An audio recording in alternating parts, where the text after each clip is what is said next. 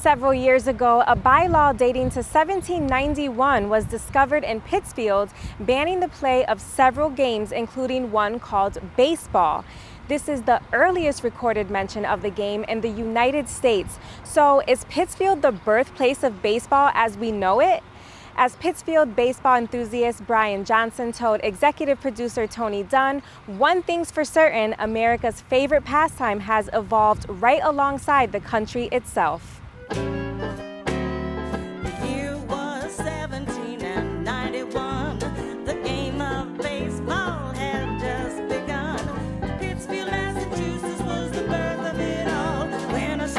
Cracked a ball against the meeting house wall. The city of Pittsfield has a long connection with baseball. They're interlinked from its earliest mention to its to, to present day. It is a natural for Pittsfield, Massachusetts, to claim the cradle of baseball. Cooperstown, New York is the Hall of Fame. It's often thought about as Abner Doubleday is the founder of baseball. And he's one, but baseball is an American icon. Baseball parallels American history. John Thorn was the historian who found the document of 1791 in our library. It came out as the first mention of baseball.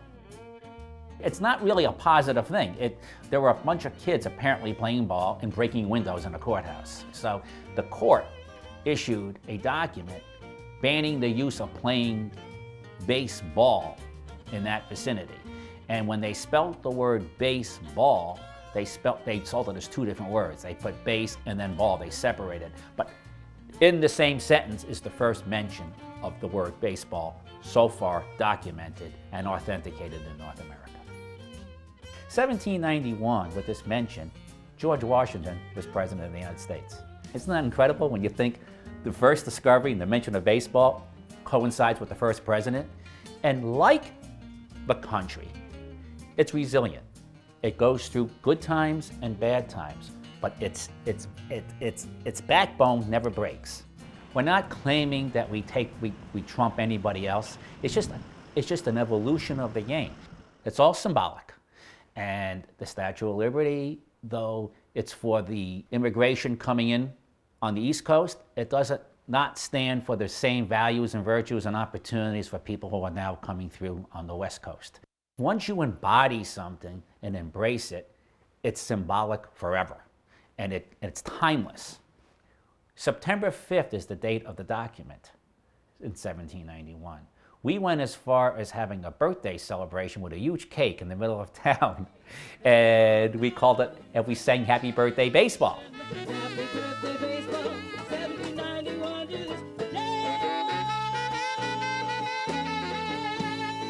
John Thorn's document created a lot of excitement in, in, in the community. Congressman John Olver got wind of it.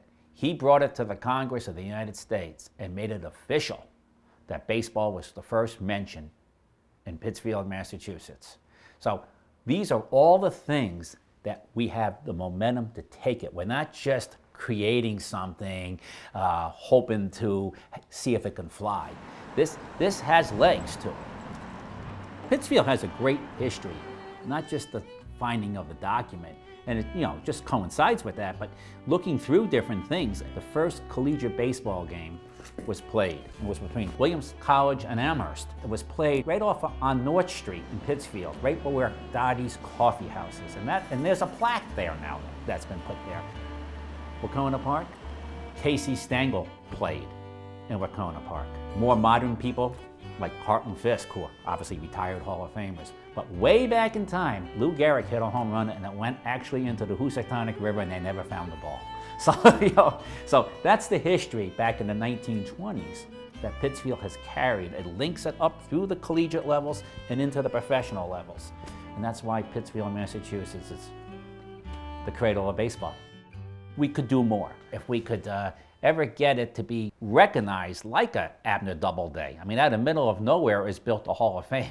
What would Cooperstown be without a Hall of Fame? Uh, things can happen, and I hate to be uh, comical with this, but uh, you know, the old Field of Dreams, feel good story, build and they will come.